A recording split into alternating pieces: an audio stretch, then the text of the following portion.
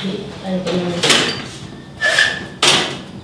the rats we use are called giant pouch African rats. They are endemic to Africa. They are uh, adapted to this environment.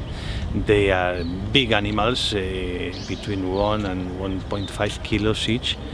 Uh, 30, centim 30 centimeters long, more or less. They are gentle, they are docile, they are easy to train, and they have a very good, good uh, sense of smell. So they can identify this, this particular smell uh, tuberculosis has.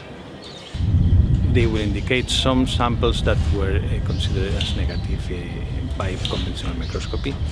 We check those samples and uh, it comes out that many of them are positive. And we report this, these results back to the health units to, for these patients to be tracked. De cheiro de